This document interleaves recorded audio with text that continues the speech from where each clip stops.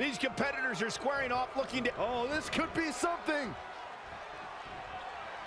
Good night. Devastating. The night could be over for Stephanie McMahon. Yeah, this is way too early to be going for the win. She's going to try it again. This singles contest has a victor. Here is your winner, Put it in the books, and there was no question.